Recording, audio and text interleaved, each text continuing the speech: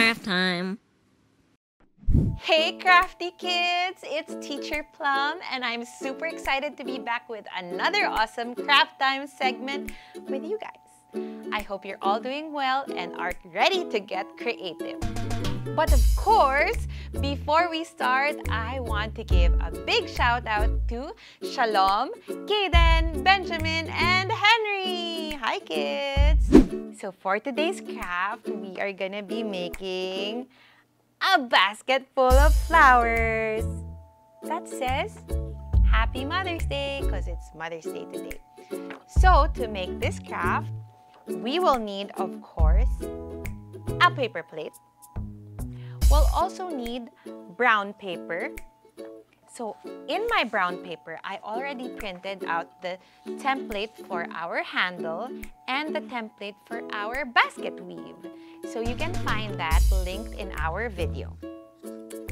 Next, we have five different flowers printed on different colored paper.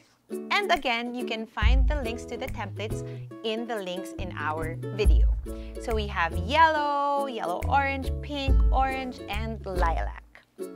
Of course, we'll also be needing 100 GSM of white paper, a pair of scissors, double-sided tape or glue, and a bunch of coloring materials like what I have on my right hand.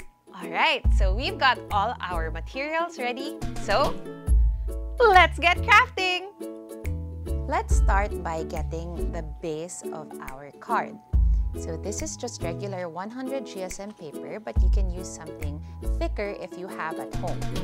Next, let's take half of our paper plate. So I went ahead and I cut the paper plate in two. So we're only gonna use one half.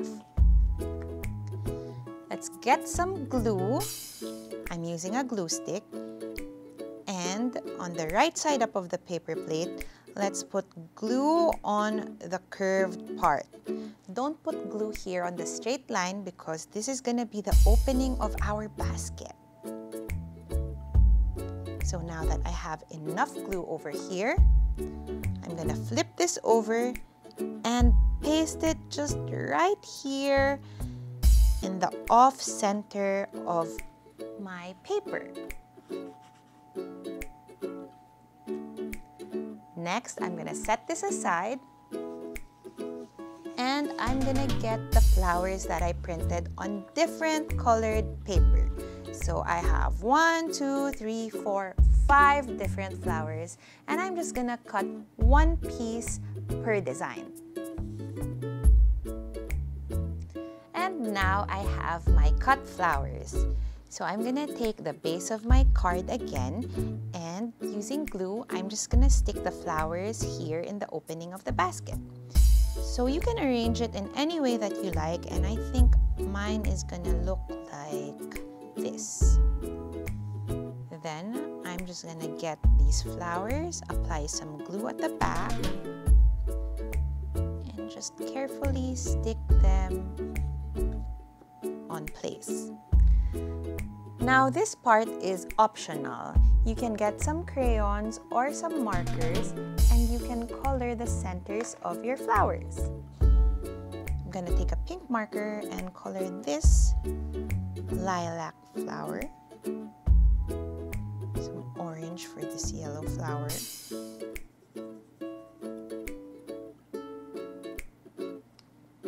How about we try crayons?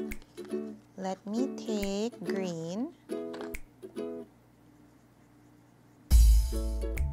here and red for my last flower.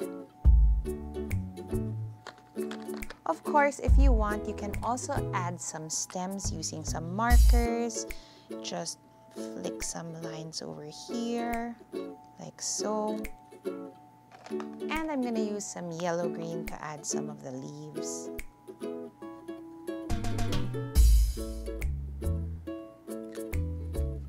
Get creative in designing your basket.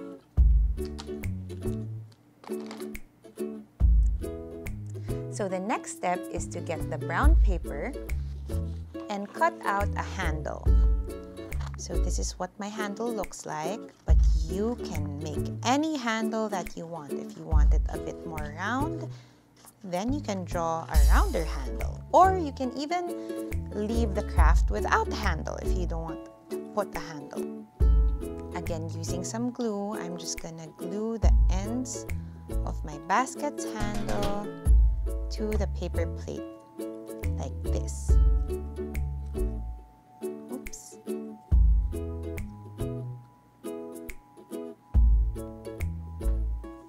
So now I have these thin strips of brown paper and we can now make our basket weave. Let's take our glue and we're just gonna place one strip on the basket's opening. If there is any excess of the strip, just take some scissors, but be very careful please and cut the excess. Next, let's take another strip and place it here just a little farther leaving a little space in between the two strips of course if you have time and if you're up for it you can actually make a weave by overlapping these strips you can ask help from your parents or from your guardians now I'm gonna take my scissors and I'm just gonna cut according to the shape of the paper plate.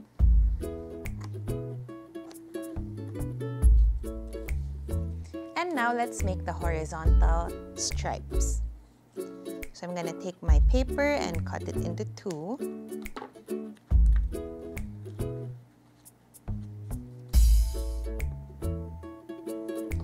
And I'm just gonna stick these on like this. I'm sure each basket that you're gonna make is gonna be unique. Course, the last step is to cut the excess strips.